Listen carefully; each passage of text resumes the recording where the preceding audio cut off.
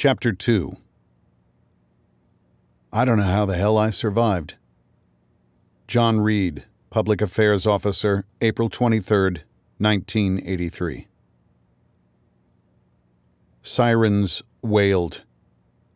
Black smoke curled skyward, blocking the midday sun and hiding the gouged front of the American Embassy. In an instant, the cascade of concrete had buried the lobby, including Guard Post 1, where Bobby McMaugh enjoyed passing out roses. Gone too was the embassy's cafeteria, information service library, personnel and consular sections, as well as all the individual offices stacked above them. The explosion had knocked out power and severed phone lines. Water gushed from broken pipes. Pulverized concrete dust clouded the air, choking the survivors who crawled out from under toppled desks, bookshelves, and file cabinets. Into the noxious mix wafted tear gas from ruptured canisters in the armory. I thought what might kill me, recalled Consular Officer Dundas McCullough, aside from the explosion, was suffocation. Many never heard the blast but felt only the sudden and violent shake of the building, reminiscent of an earthquake, followed by a rush of searing heat that hurled them to the floor, through walls, or in the case of Chief Warrant Officer Rayford Byers, out of a fifth floor window. Byers miraculously survived the fall, though he lost his left eye broke both collarbones and arms, and suffered 14 broken ribs and a crushed skull. Others remembered what sounded like a clap of thunder as walls, floors, and ceilings suddenly split apart. The explosion blew doors off hinges, tossed air conditioners across offices, and wrenched open safe doors, spewing classified documents into the air. Vaporized windows sliced up survivors and riddled them with shards of glass, including Robert Essington, who would later count more than 500 pieces embedded in his body. But that was only one of his problems. Mr. Essington, Mr. Essington, he heard his secretary holler at him in the immediate aftermath of the bomb. Here's your ear. Survivors struggled to orient themselves in the dark and rubble strewn landscape, one now filled with dangerous pitfalls as Communications Officer Faith Lee discovered up on the sixth floor. When I came out of the office, there was nothing there. You could see the sea, she recalled. It had just been all blown away. I mean, it was just nothing. My God, she thought, how are we going to get out of here? Lee wasn't the only one. Corporal Ronnie Tomolo had just sat down to enjoy a lunch of rice with chili in the Marine mess hall when the terrorists' bomb exploded, showering him with glass. Seconds later, Tomolo's radio crackled with the voice of fellow Marine security guard Charles Pearson. Holy shit, we've been hit big time, Pearson exclaimed. React! React! That was the code word for the Marines to grab their rifles and form up. Tomolo raced up the stairs to retrieve his gear from his room. When he arrived, he tried the door, only to find it wouldn't budge, no doubt a result of the blast. Tomolo took a few steps back and charged, ramming his shoulder into it, but again, the door held. In a final effort, he kicked the handle. My bedroom door flung open, Tomolo said. All I could see was the Mediterranean. The Marine stood in awe. Everything, he recalled, from my room down, was gone. Down on the first floor, Staff Sergeant Charles Light woke up after being thrown through a wall only to discover that the blast had robbed him of his boots. His solid oak desk, which had taken seven men to install, was little more than splinters. The embassy's commissary and armory had erupted in flames. Rounds cooked off from the heat while smoke and tear gas permeated the air. Even though I'd been in that building for nine months, I didn't know where I was, Light recalled. I couldn't orientate myself. The explosion had toppled walls and reduced the concrete support piers to rebar skeletons. The Marines stumbled through the rubble. My hearing came back, he said. I started hearing screams and moans and pleas for help. Light encountered a woman stumbling down the stairs from the second floor. The blast had left her face barely attached to her skull. Light comforted her amid the smoke and confusion, promising he could get her out of the embassy, even though he had no idea how. Through the smoke, the sergeant spotted an opening amid the debris. He crawled through, pulling her out behind him. In the crescent shaped driveway, Light spotted a severed leg from the ambassador's driver, Cesar Bathiard, who roasted just steps away inside one of the burning security vans. Bathiard's friend and fellow guard, Mohammed, used a rebar rod that resembled a crook to try to yank him from the vehicle, but he succeeded only in stripping away Bathiard's flesh. Just as I looked at him, the sergeant recalled, his eyes popped out of his head. The guard's efforts were hopeless. Mohammed took out his pistol and shot Cesar between the eyes and killed him. Light testified. Put him out of his misery. Light grabbed the wounded woman and pulled her toward the Corniche, a once peaceful coastal promenade. Bodies smoldered on the ground around them while others floated in the sea. The sergeant waved down a cab whose driver sized up the battered duo and tried to escape, no doubt wanting to avoid a bloody mess. Light flashed his handgun. The Marine helped the woman into the back seat and fished a wad of Lebanese cash from his pocket, which he tossed inside. Mustashfa, he demanded. Hospital. Up on the eighth floor, Ambassador Dillon's t shirt, which he pulled over his head the moment the bomb detonated, saved his face when the window imploded in front of him. Everything, Dillon said, seemed to happen in slow motion. The wall behind his desk collapsed, burying his legs beneath a masonry slab that measured five feet long by two wide. Smoke, dust, and tear gas filled his office, convincing him initially that another rocket propelled grenade had hit the embassy. Deputy Chief of Mission Bob Pugh, Secretary Dorothy Pascoe, and Administrative Counselor Thomas Barron charged in, covered with dust. Unable to lift the slab, the trio used a flagstaff to pry up the wall, allowing the ambassador to wriggle free. We all started to cough and retch from the tear gas, Dillon said. Someone vomited.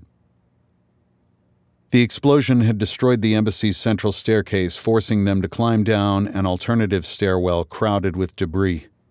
On the descent, the group picked up other bloodied survivors. This was far worse, the ambassador realized, than a rocket propelled grenade attack.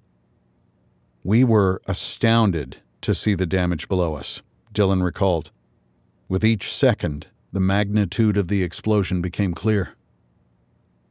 In the back of the cafeteria, Anne Dammarell felt heat like an oven the second the bomb exploded. She opened her eyes moments later to see blue sky the ground floor cantina had absorbed some of the worst of the terrorists' blast. Dammarell and her lunch partner Bob Pearson were the only two to survive. The blast had left Dammarell with 19 broken bones, including one foot, both arms, multiple ribs, and her pelvis and scapula. Relax, she told herself. Just remain calm. Her wait was fortunately short. Within minutes, several rescuers found her, removing the debris that pinned her legs before lifting her up. Ambassador Dillon watched as the men carried her out to an ambulance. She looked, he recalled, like a piece of hamburger. She's not going to make it, he thought.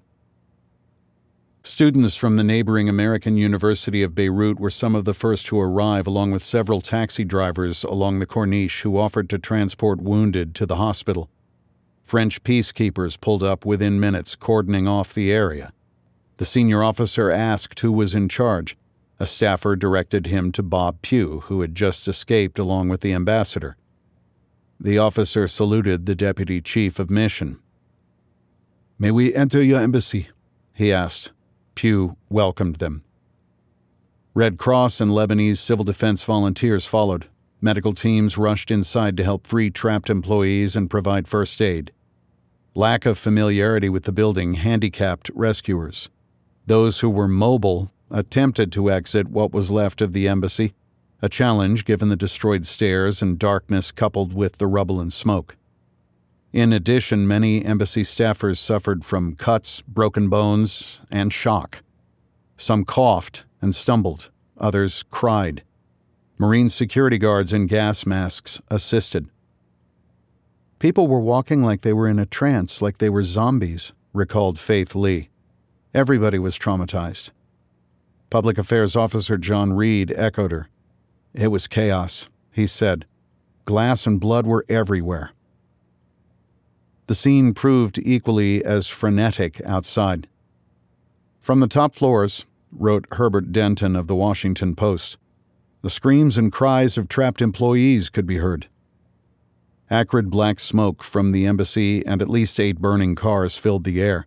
Concrete chunks, along with license plates and hubcaps, littered the ground. Flying debris had sliced one of the trees in half while the searing heat melted a nearby traffic light. A Lebanese personnel carrier lay upside down in the surf where bodies and body parts bobbed in the water. An American security guard who suffered from shock paced out front. It's gonna blow, he repeatedly hollered. It's gonna blow. Ambulances and fire trucks converged on the diplomatic mission along with journalists, many of whom worked nearby. Rescue workers and passers by began pulling limp and charred bodies out of the debris. Some carried out pieces of bodies on stretchers or wrapped in blankets, observed David Zucchino of the Philadelphia Inquirer. A man's torso was brought out on one stretcher and a man's leg on another. Blood and body parts smeared the ground. Some rescuers accidentally stepped on them. British journalist Robert Fisk with The Times watched a Red Cross worker use a bucket to scoop up remains. We tripped over corpses, he wrote. The roadway was slippery with water, glass and blood, and other more terrible objects, which a team of Lebanese Red Cross men and women were shoveling onto stretchers. American Marines based four miles south at the airport rolled up in jeeps 20 minutes after the blast. Colonel James Mead, commander of American peacekeeping forces, immediately sized up the damage. It was, he noted, a catastrophic event. One platoon is not enough, the colonel radioed. Send two. French troops turned over control to the Americans who guarded the perimeter and began a sweep of the building. One Marine outside watched rescuers bring out bodies. Damn, damn, damn, he muttered. Another paced the ruins. My buddy was in there, he said. I can't find him.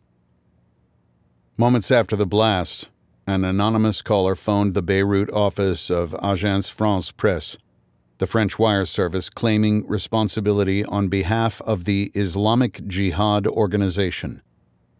A similar call was made to the Beirut newspaper Al Liwa, Authorities assessed the Islamic Jihad organization to be a pro Iranian Shiite Muslim group. The terror organization had previously taken credit for the recent grenade attack that wounded five Marines. This is part of the Iranian Revolution's campaign against imperial targets throughout the world, the caller said. We shall keep striking at any imperialist presence in Lebanon, including the multinational force. Throughout the afternoon, rescuers dug out the wounded and the dead. Over them all dangled the body of a man in a tan suit coat, whose legs were pinned between the concrete slabs of the fourth and fifth floors. The employee's head and arms hung down, dripping blood on the slabs below. Around 5 p.m., rescuers pulled out what would prove to be the last survivor, who had spent four hours buried under the rubble and rebar. He was, as one Red Cross worker told reporters, very glad to see us. Hundreds of onlookers crowded around the perimeter to watch, including families of local employees. The Lebanese military struggled to hold back distraught relatives. The more hysterical among them stood about screaming the names of their missing family members noted Thomas Friedman of the New York Times, while others leaned against a wall, gripping handkerchiefs or a purse and weeping silently. Crews with Oger Liban, Lebanon's largest construction contractor brought in portable lights, generators, and bulldozers, which would allow rescuers to work throughout the night. Jackhammers rattled as darkness settled over the capital. With the giant floodlights, Time magazine observed, it looked like a scene from an apocalyptic disaster movie. Back in Washington, President Ronald Reagan was outraged by the attack, which he viewed as both vicious and cowardly. At 11:50 a.m. in Washington, or 6:50 p.m. in Beirut, Reagan stepped out into the White House Rose Garden to address reporters, flanked by Vice President George H.W. Bush. This criminal attack on a diplomatic establishment will not deter us from our goals of peace in the region. We will do what we know to be right, the president said. The people of Lebanon must be given the chance to resume their efforts to lead a normal life free from violence without the presence of unauthorized foreign forces on their soil. And to this noble end, I rededicate the efforts of the United States. At the American University of Beirut, the flood of injured and dead threatened to overwhelm the doctors, nurses, and attendants Chaos enveloped the emergency room. An American diplomat, her head bandaged, surveyed the scene and turned to leave. The ones who did this, she remarked, I hope they die a slow death. More than a hundred Lebanese men and women, relatives of those missing, swarmed the hospital entrance, desperate for information. The task of tabulating the dead and wounded fell to Consular Officer Diane Dillard, who had gone home to walk her dog over lunch when the bomb exploded. I tried to get a fix, she recalled, on who was there and who wasn't, and where we stood.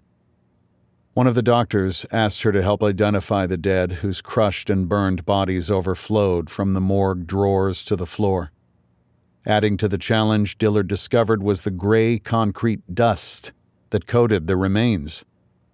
Another time, a Red Cross volunteer asked her to examine a row of teeth detached from the skull. Now, the volunteer said, I think this could be an American filling, don't you? Well, Dillard stuttered, it could be any filling. That moment, though horrific, proved a revelation, one that ultimately allowed her to perform her difficult task. I realized, Dillard later said, that we weren't talking about people, we were talking about empty vessels. The people were no longer there. The staff worked under tremendous pressure from the families and State Department, all anxious for information. The attendant, a quiet man in white hospital robes, wrote his list of the dead Americans in Arabic on a brown washroom paper towel, one wire service reported. Eventually, a nurse posted a list of 105 victims, those who were alive, on the window of the emergency ward. It heartened some relatives and distressed others. Work continued at the embassy as Monday night rolled into Tuesday morning. Hours had passed since rescuers probing the rubble had pulled the previous body out at 6 p.m. In the meantime, bulldozers had worked to clear debris while laborers armed with jackhammers broke up large concrete slabs for easier removal. CIA economic analyst Susan Morgan, who was on temporary duty assignment to Beirut, hovered around the ruins. She had been at a lunch in the southern port city of Sidon when the bomb exploded. Morgan had rushed back to the capital, anxious to check on her office director and friend, Robert Ames, who so far had not been located, either on the lists of wounded at the hospital or among the dead. The dropping temperatures prompted a Marine to wrap her in a blanket. Another offered her coffee. At 2:30 a.m., Morgan sensed a change atop the debris pile as rescuers suddenly converged around one spot. A body has been found, she wrote in her diary. My heart skips, and I know. One of the officials waved her over and asked if she could identify the remains.